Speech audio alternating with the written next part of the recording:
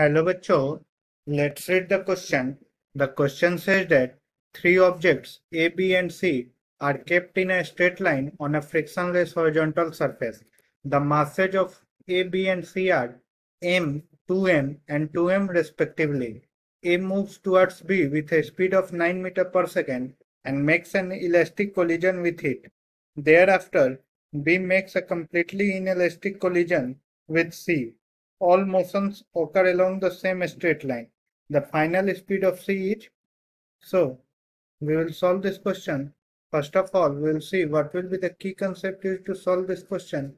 The key concept that will be used to solve this question will be conservation of linear momentum. Conservation of linear momentum. हमें दिया गया है कि ए और B के बीच में इलास्टिक कोलिजन है so both momentum and energy will be conserve अब हमें बोला गया है कि A nine meter per second से मूव कर रहा है और बी रेस्ट पे है, ठीक है? और बी से कोलाइड करके उसके बाद बी मूव कर रहा है, ठीक है? तो हम पहले केस के लिए जब ए बी से कोलिजन कर रहा है उस केस के लिए अगर हम कंजर्वेशन ऑफ़ लिनियर मोमेंटम लगाएँ so we will have a case like हमारे पास ए जो है, वो मूव कर रहा है नाइन मीटर पर सेकंड से और बी जो है, वो रेस्ट पे है ए का मास है एम इसका मास टू एम है। ये बिफोर कोलिजन और आफ्टर कोलिजन क्या हो रहा है? ए जो है, वो वी वन से मूव कर रहा है और बी जो है, वो बी टू से मूव कर रहा है। This is two M and this is M ठीक है? तो initial momentum that will be M into nine plus two M into zero that will be equal to final momentum that is M into V one plus two M into V two तो यहाँ से हमारे पास होगा V one plus two V two is equal to nine ठीक है?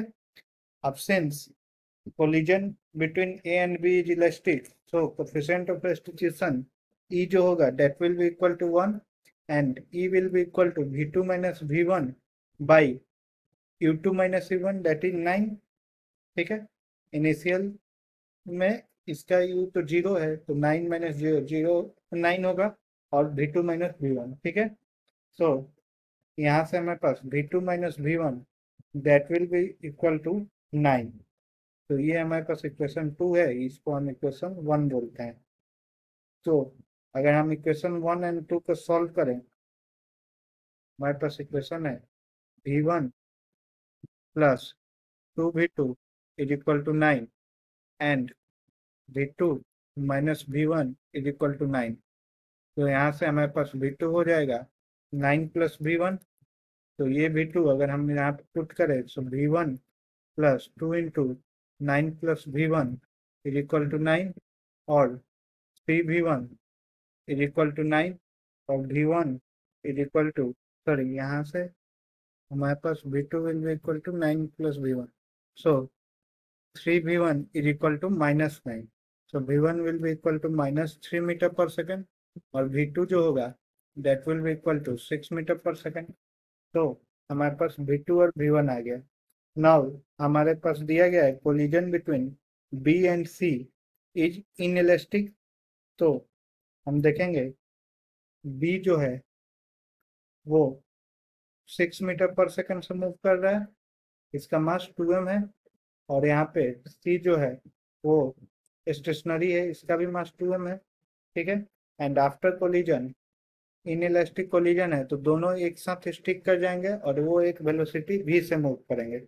तो अब हम यहाँ पे conservation of initial conservation of linear momentum लगाएँगे तो इनिशियल मोमेंटम होगा that will be two M into six plus two M into zero that is equal to four M into V तो यहाँ से हमारे पास होगा twelve M is equal to four M V और V is equal to three meter per second so final speed of C is 3 meter per second.